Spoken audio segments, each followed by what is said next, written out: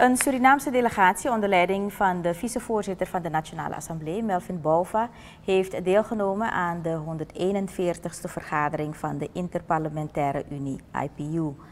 Delegatielid Naomi Samidin heeft gesproken over de versterking van internationaal recht.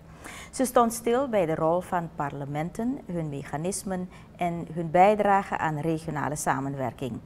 Verder haalde de Surinaamse delegatie aan dat geen enkel land alleen, staat, alleen in staat is te zorgen voor een betere en veiligere wereld. Samenwerking is noodzakelijk.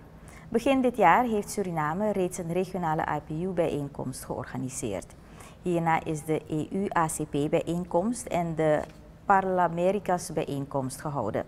Een duidelijk voorbeeld dat Suriname actief een bijdrage levert om de regionale samenwerking te helpen verbeteren, aldus Samidin.